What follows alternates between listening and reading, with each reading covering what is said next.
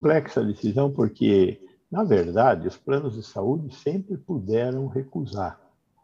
A questão é que, ao plano de saúde recusar, você ia ao judiciário, os que têm dinheiro, os que têm condição de ir ao judiciário, vão ao judiciário, e no judiciário conseguem através do que a gente tem chamado de judicialização.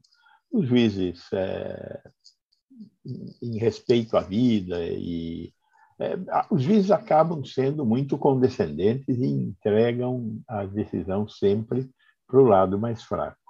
E essa é a regra. É, é basicamente essa a discussão. Qual é o tamanho aceitável da decisão de um juiz sobre é, tratamentos médicos? E aí tem uma discussão sobre a, a possibilidade da Agência Nacional de Saúde Suplementar, que é o órgão estatal que regula a relação entre clientes de planos de saúde e prestadores de serviço, ou, ou as operadoras de planos de saúde. Então, é, é, é, é, quem que, como é que fica essa relação? O judiciário pode se meter nessa relação ou não? É, porque a, a ANS ela vem lutando para ela ser a decisora sobre avaliação de tecnologia em saúde. Então, a ANS decide se aquela, aquela, aquele medicamento, aquela técnica, aquele processo deve ser pago ou não deve ser pago pelos planos de saúde fazendo um processo que nós chamamos de avaliação de tecnologia em saúde. Então, o que é o tal do rol de procedimentos? O rol de procedimentos é aquilo que a ANS analisou e aprovou, portanto, tem que ser pago. É... Os usuários querem um rol aberto. Tudo que aparecer é, terá que ser pago.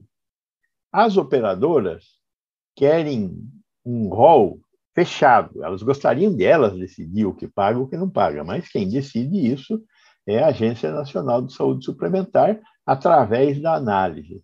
Então, por um lado, eu entendo que o que o, o Superior Tribunal de Justiça fez foi reduzir o espaço de decisão da justiça, dos juízes, usando para isso um negócio chamado avaliação de tecnologia em saúde.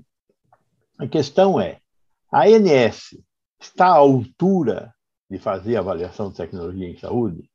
Ela representará adequadamente os, é, as pessoas que têm planos de saúde? Porque essa é a função que está na lei da, da ANS. A ANS está aí para proteger os portadores de planos de saúde. E tem protegido? Não, não está. É não está e não tem. Essa é a questão. Então, eu preferia ficar na mão da justiça e não na mão da ANS. Mas a, então, a ANS, sou... mas a ANS deu a justiça, a, a, a justiça deu a, deu o crédito à ANS, né? Então tá todo mundo deu, na mão da tá ANS. Errada. Tá, tá errada. E por isso que eu acho que está errado. Entendi. Nós estamos hoje, a ANS tem um sistema chamado de dupla porta. Então, quem está trabalhando, quem é dono de uma operadora, de repente está lá diretor da ANS.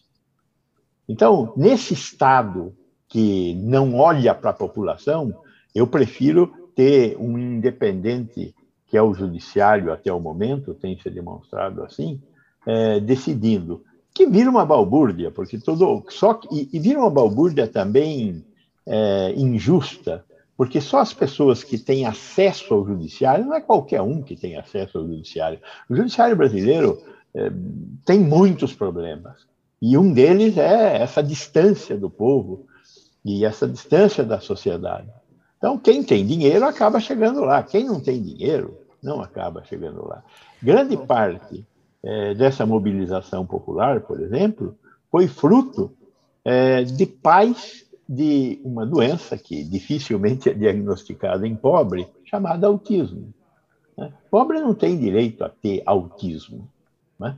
Tem, quem tem autismo são os filhos de rico. É óbvio que é uma doença terrível, mas e que tem alguns tratamentos que são muito difíceis de terem comprovação de, de, resultado, porque é uma doença psíquica, é uma doença complicada nesse sentido. Então, é, Vamos ver os próximos capítulos. Aliás, o senhor falando sobre o autismo, antes de eu passar para o Josias, que eu também quero ouvir o comentário do Josias, porque tem repercussão política gigantesca. Todos os políticos falaram sobre isso ontem, vai virar assunto também eleitoral é, sobre essa questão do autismo.